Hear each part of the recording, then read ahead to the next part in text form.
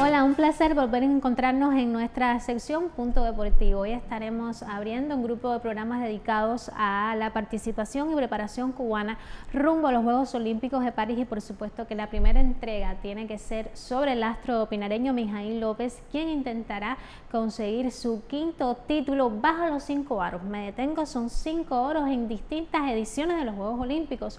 O sea, buscará ese quinto pergamino dorado, ya tiene cuatro, o sea, es tetracampeón olímpico. Y lo quería aclarar porque hay varios eh, deportistas que han conseguido quizás cinco oros, pero él lo ha hecho de manera sucesiva.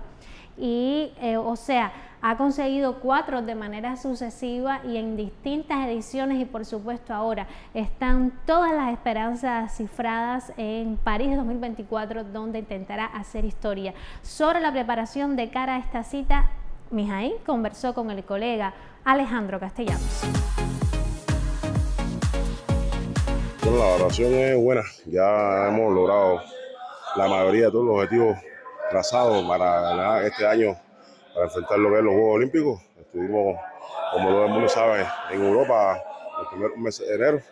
Seguimos la continuación con lo, que fue la preparación que hemos tenido aquí en Varadero. Creo que esto ha sido muy fructífero ya que aquí estamos haciendo lo que es trabajo, descanso, se está logrando todo ese objetivo y creo que lo principal de todo que tenemos nosotros es la motivación que tenemos todo el grupo colectivo de entrenadores, atletas y estamos contentos de, de todo lo que ha hecho eh, nuestro organismo por seguir manteniendo la preparación de nosotros aquí en Varadero y nada, contentos por, por tener este deseo de seguir dando triunfo a Cuba y nada, creo que, eh, eh, lo único que va quedando es ya los días, espera ya para enfrentar los Juegos Olímpicos y darle los alerones que, que esperen por los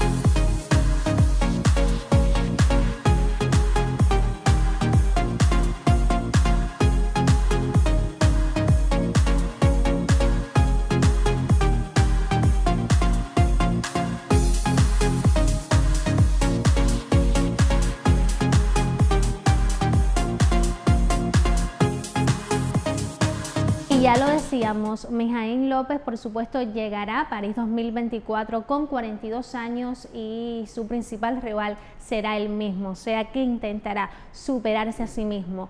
En un perfil, digamos, una arista más humana, también comentó al colega Alejandro Castellanos. Desde ya le agradecemos por esta colaboración para el punto deportivo.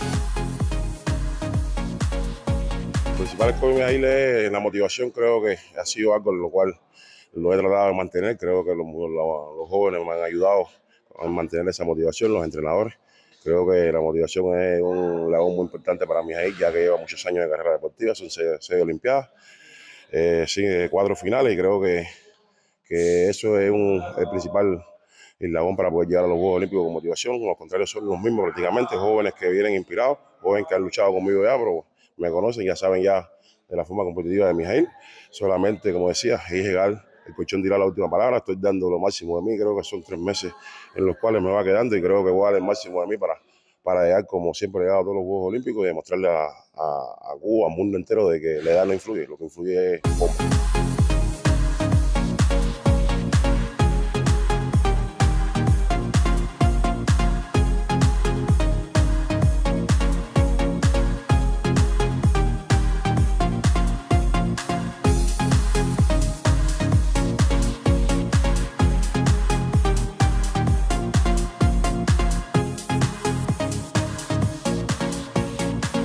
Toda Cuba, por supuesto, confía en Mijaíl López, también lo hace Pinar de Ríos, su natal herradura. Mijaíl, que a propósito hace unos meses enfrentó la pérdida de su padre Bartolo, tuvo que reponerse a todos estos problemas personales, o sea, fue un duro golpe para él incluso eh, lo vimos, pero de todos modos pudo recuperarse de cierta forma.